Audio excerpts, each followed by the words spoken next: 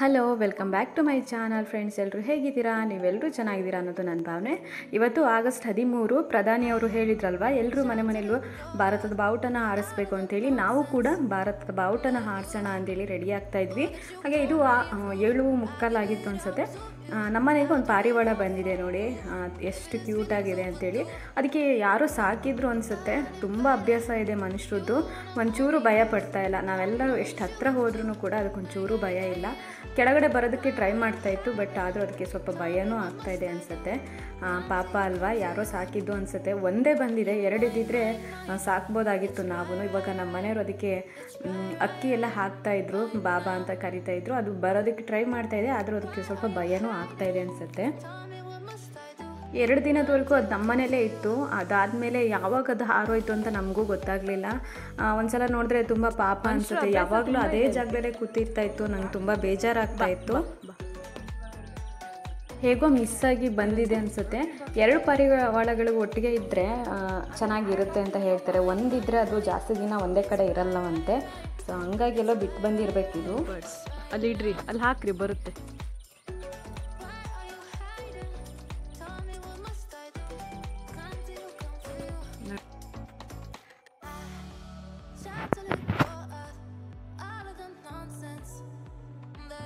ಇವಾಗ ಟೈಮ್ ಬಂದು ಕರೆಕ್ಟ್ ಎಂಟು ಗಂಟೆ ಆಗಿದೆ. ಮಾವ ಮತ್ತು ನಮ್ಮ ಮನೆಯವರಿಬ್ಬರು ಸೇರಿ ನಾವು ಕೂಡ ನಮ್ಮ ರಾಷ್ಟ್ರ ಧ್ವಜನ ಹಾರಿಸಿದಾಯಿತು. ಮನೆ ಮೇಲ್ಗಡೆ ಎತ್ತರವಾಗಿ ಕಟ್ಟಿದ್ದೀವಿ ಇವಾಗ ನಾನು ತೋರಿಸ್ತೀನಿ. ನಮ್ಮನೆ ಅಕ್ಕಪಕ್ಕದಲ್ಲಿ ಎಲ್ಲರೂ ಕೂಡ ಕಟ್ಟಿದ್ದಾರೆ. ಇದು ನೋಡಿ, ಕ್ರಿಶ್ಚಿಯನ್ ಮನೆ. ಅವ್ರು ಕೂಡ ಫ್ಲಾಗ್ ಹಾಸ್ಟಿಂಗ್ ಮಾಡಿದ್ದಾರೆ, ನಂಗೆ ತುಂಬ ಖುಷಿ ಆಯಿತು. ಹಾಗೆಯೇ ನಮ್ಮ ಮನೆ ಎದುರುಗಡೆ ಮನೆ ಹಾಗೆ, ಅವ್ರ ಪಕ್ಕದ ಮನೆಯಲ್ಲಿ, ಆ ಕಡೆ ಈ ಕಡೆ ಸೈಡ್ ಇರೋರು ಎಲ್ಲರೂ ಕೂಡ ಫ್ಲಾಗ್ನ ಬೆಳಿಗ್ಗೆನೇ ಹಾರಿಸಿದ್ದಾರೆ. ಅಂದರೆ ಫ್ಲಾಗ್ನ ಮೇಲ್ಗಡೆ ಎಲ್ಲರೂ ಕೂಡ ಕಟ್ಟಿದ್ದಾರೆ. ಹದಿಮೂರನೇ ತಾರೀಕು ದಿನ ಫ್ಲಾಗ್ ಇದು ಸಣ್ಣ ಮಳೆ ಕೂಡ ಬರ್ತಾ ಇತ್ತು. ನಾವು ಎಲ್ಲರೂ ಮೇಲ್ಗಡೆ ಹೋಗಿದ್ವಿ, ಹಾಗೆ ರಾಷ್ಟ್ರಗೀತೆನೂ ಕೂಡ ಹಾಡಿ ನಾವೆಲ್ಲರೂ ಇವಾಗ ಕೆಳಗಡೆ ವಾಪಸ್ ಬರ್ತಾ ಇದ್ದೀವಿ. ಇದು ಶನಿವಾರದ ದಿನ.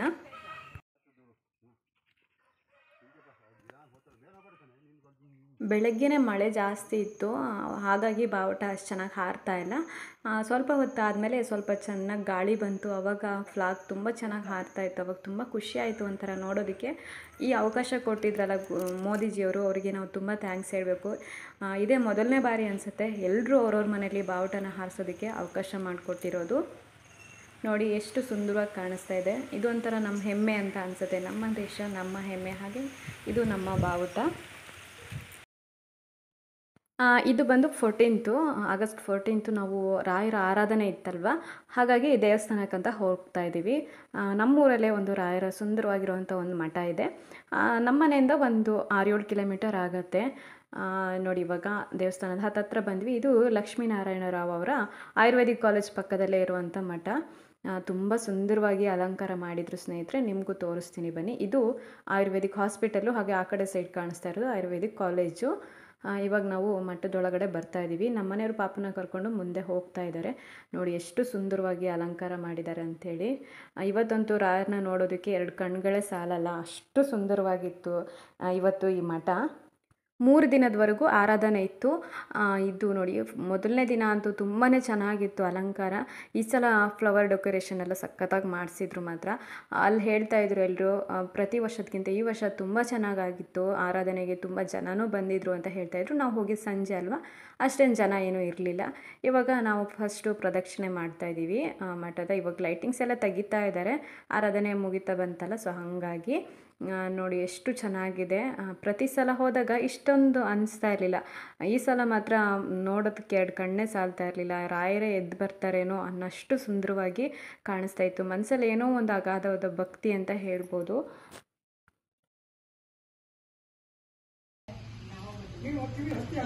ಈ ವರ್ಷದಲ್ಲಿ ಬರುವಂಥ ಆರಾಧನೆ ಸಮಯದಲ್ಲಿ ರಾಯರು, ಅಂದರೆ ಮಂತ್ರಾಲಯದಲ್ಲಿ ರಾಯರು ಅಭಿಷೇಕ ಮಾಡೋ ಸಮಯದಲ್ಲಿ ಕಣ್ಣನ್ನು ಬಿಟ್ಟು ಎಲ್ರಿಗೂ ಆಶೀರ್ವಾದ ಮಾಡ್ತಾರೆ ಅಂತ ಹೇಳ್ತಾರೆ.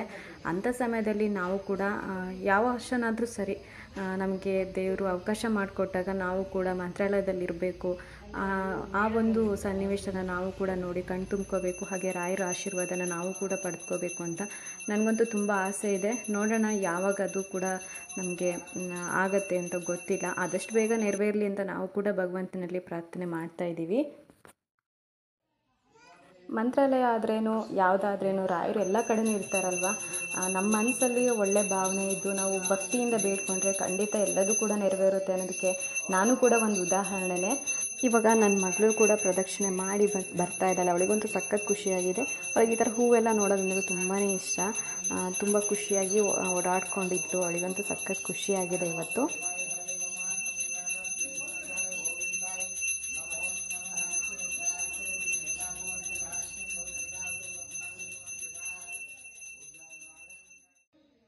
ಹಾಗೆ ಇವಾಗ ನಾನು ತೋರಿಸ್ತಾ ಇರೋದು ಮಠದ ಎದುರುಗಡೆಯಿಂದ, ಅಂದರೆ ಎದುರುಗಡೆನೂ ಈ ಥರ ಕಾಲಿಡರ್ ಇದೆ, ಇಲ್ಲೂ ಕೂಡ ಈ ಥರ ಅಲಂಕಾರ ಮಾಡಿದ್ದಾರೆ. ಡೆಕೋರೇಷನ್ ನಾನು ಅವಾಗಲೇ ಹೇಳಿದ್ನಲ್ಲ, ಪ್ರತಿ ವರ್ಷದಕ್ಕಿಂತ ಈ ವರ್ಷ ಸೂಪರಾಗಿ ಮಾಡಿದರು. ಬೇರೆ ದೇವಸ್ಥಾನಗಳೆಲ್ಲ ಇನ್ನೂ ತುಂಬ ಚೆನ್ನಾಗಿರುತ್ತೆ, ಅಂದರೆ ನನಗನ್ಸಿದ್ದು ಇದು ನಾನು ಯಾವಾಗಲೂ ಹೋಗೋವಂಥ ಭಕ್ತಿಯಿಂದ ಬೇಡ್ಕೊಳ್ಳೋವಂಥ ದೇವಸ್ಥಾನ ಅಲ್ವಾ? ನನಗಂತೂ ಇವತ್ತು ಸಖತ್ತು ಖುಷಿಯಾಗಿದೆ ನೋಡಿ. ಇದು ರೋಡು ರೋಡಿಂದ ಮುಂದೆ ಈ ಥರ ಕಾಣಿಸುತ್ತೆ ಮಠ. ಆ ಕಡೆ ಈ ಕಡೆ ಸೈಡೆಲ್ಲ ಕಾಫಿ ಎಸ್ಟೇಟ್ ಇದೆ ಹಾಗೆ ಈ ಕಡೆ ಕಾಲೇಜ್ ಇದೆ. ಒಂಥರ ತುಂಬ ಪ್ರಶಾಂತವಾಗಿದೆ ಜಾಗ ಇದು. ನೋಡಿ ಮುಂದ್ಗಡೆಯಿಂದ ಈ ತರ ಕಾಣಿಸುತ್ತೆ.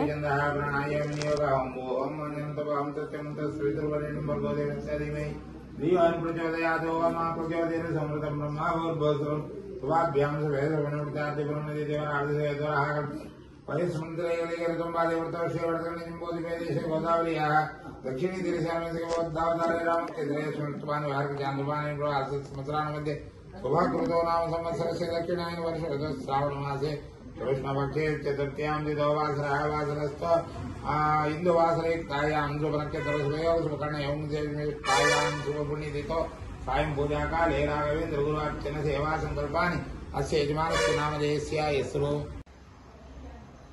ಇವಾಗ ನಾವು ಒಂದು ಪೂಜೆ ಎಲ್ಲ ಮಾಡಿಸ್ಕೊಂಡು ಹಾಗೆ ಮಂತ್ರಾಕ್ಷತೆ ಎಲ್ಲ ತಗೊಂಡು ಹಾಗೆ ಪರಿಮಳ ಪ್ರಸಾದ ಎಲ್ಲದೂ ಕೊಟ್ಟು ಇದು ಆರಾಧನೆ ಸಮಯದಲ್ಲಿ ಮಾಡ್ತಾರಲ್ಲ ವಿಶೇಷವಾಗಿರೋ ಪ್ರಸಾದ ಕೂಡ ಇಸ್ಕೊಂಡು ಇವಾಗ ನಾವು ವಾಪಸ್ ಮನೆಗೆ ಹೊರಟ್ವಿ.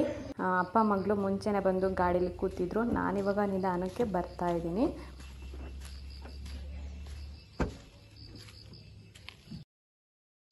ಇದು ನಮ್ಮೂರ, ನಮ್ಮೂರು ಹೇಗಿದೆ ಅಂತ ತೋರಿಸ್ತಾ ಇದ್ದೀನಿ ನಾವು ಬರುವಂಥ ದಾರಿ ನಮ್ಮೂರು ಹೇಗಿದೆ ಅಂತ ಒಂದು ಸಲ ನಿಮಗೆ ತೋರಿಸ್ತಾ ಇದ್ದೀನಿ ಅಷ್ಟೇ ಹಾಗೆ ಇದು ಆಗಸ್ಟ್ ಫಿಫ್ಟೀನ್ತು ನಾನು ಆವಾಗಲೇ ಹೇಳಿದ್ನಲ್ಲ, ಮೂರು ದಿನದ ಬ್ಲಾಗ್ ಇದು. ನಾನು ಸ್ವಲ್ಪ ಲೇಟಾಗಿ ಅಪ್ಲೋಡ್ ಮಾಡ್ತಾ ಇದ್ದೀನಿ. ಮೂರು ದಿನದ್ದು ಸೇರಿಸಿ ಮಾಡೋಣ ಅಂತೇಳಿ ಈ ಬ್ಲಾಗ್ನ ಮಾಡಿದೆ. ಲೇಟಾಗಿ ಅಪ್ಲೋಡ್ ಮಾಡ್ತಾ ಇದ್ದೀನಿ ಸ್ನೇಹಿತರೆ. ಇದು ಆಗಸ್ಟ್ ಹದಿನೈದನೇ ತಾರೀಕು. ಬೆಳಗ್ಗೆನೂ ನಾವು ಒಂದು ಸಲ ಫ್ಲಾಗಾಸ್ಟಿಂಗ್ ಮಾಡಿದ್ವಲ್ಲ, ಅಲ್ಲಿ ಬಂದು ರಾಷ್ಟ್ರಗೀತೆನೆಲ್ಲ ಹಾಡಿ ಹೋಗಿದ್ವಿ. ಇವಾಗ ಸಂಜೆ ಆರು ಗಂಟೆ ಆಗಿದೆ. ಧ್ವಜನ ಇಳಿಸ್ಬೇಕಲ್ವಾ? ತವ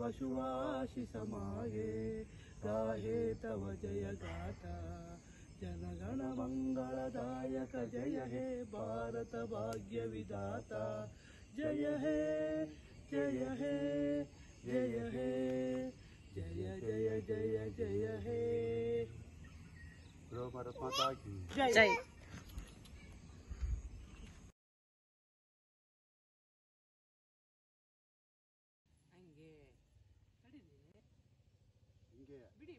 ಬನ್ನಿ